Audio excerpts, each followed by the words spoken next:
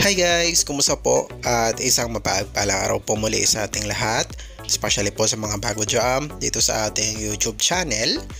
And for this video po ay gusto ko lang i-share sa inyo. Ito ang trending ngayon na investments or paluwagan scam sa social media. And actually uh, na-feature po ito no sa 24 oras kahapon. So I don't know if napanood nyo to pero sa mga hindi po nakapanood no ito ay paalala. So ingat ingat po tayo sa mga ganitong klaseng uh, parang kitaan ng pera no? And ang nakakapagtaka dito guys kasi uh, paluwagan siya pero nung inexplain po ito sa 24 oras merong referral program merong uh, parang may uh, tubo yung pera. So, doon pa lang guys, so malalaman nyo na na uh, red flag na siya. No? Kasi may paluwagan ba na merong referral, no? may kikitain ka sa pag-refer tapos may tubo. So, hindi po siya paluwagan. Isa siyang investment talaga na kinalaunan ay pwede pong maging scam. Alright, so ingat-ingat po tayo especially po sa mga uh, mahilig po no sa mga investment, sa mga madaling kitaan. Actually, madalas po nabibiktima dito ay yung mga gustong kumita talaga ng malaki ng mabilisan. Okay, yung mga nag-aasam na uh, dumoble yung pera nila or uh, magkaroon agad ng malaking pera sa madaling paraan. So guys, no, ay ingat po tayo. Okay, kasi wala namang madaling kitaan talaga.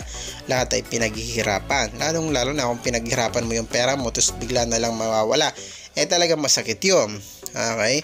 Pero anyway, I still no uh, our money, our responsibility. Kaya kung may mga sasalihan kayo, paluwagan man yan. Paluwagan dapat kilala mo, no? Pero kahit kilala mo, still nagkakaproblema pa rin. Kaya yung mga ganitong klaseng kitaan ay right flag talaga. No, as in, hindi talaga tayo kikita rito. So right now, if you will check yung Facebook guys, madaming nagpo-post no, ng mga scamam sa paluwagan. Ayan, naglalabas uh, ng mga uh, sama ng loob po nila uh, dahil nga na-scam sila ng uh, paluwagan. Okay, so uh, actually uh, madali na I mean okay naman ang paluwagan. Uh, pwede naman kumita talaga. I mean nakakatulong naman yung paluwagan talaga pero siguro ay uh, piliin no, yung, kung sino yung sasalihan kung uh, kilala mo okay lang siguro pero kung hindi mo kilala usually kasi ito madalas ang nangyari sa online paluwagan. So kumakalat sa Facebook na merong ganyan nga online paluwagan. So uh, iba na nainganyo naman kasi pinapakitaan na nakareceive nga ng payout. So nakakatulong in a sense no na kung una ka naka-payout eh paano kung huli ka naka-payout? Hindi ka na naka-payout kasi tinakpo na yung pera especially ha nung kung sino man yung kumukubra ng pera kaya ingat-ingat tayo guys no ulitin ko wala pong madaling kitaan uh, kay na pera alright so imagine this guys no itong kakabalita lang la kahapon. So ayan. Ang nangyari is 1.2 1.9 million pesos easy money no sa mga scammer.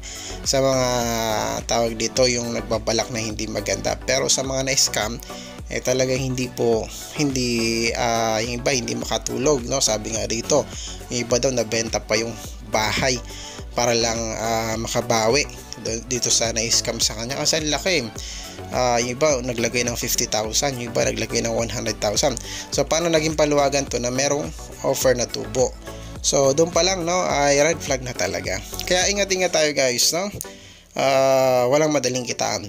I mean uh, hindi madaling kumita ng malaking pera pinaghihirapan po yan no kahit nga sa loto eh talagang hindi mo alam no yung iba 50 years na namatay na lang kakataya sa loto araw-araw hindi naman hindi naman nanalo bihira no kasi hindi talaga siya madali Alright? So, uh, piliin, no? Tapos, do your own research, no? Kasi pera nyo yan, sayang po. And lalo lang na kung pinaghirapan po yan. Alright?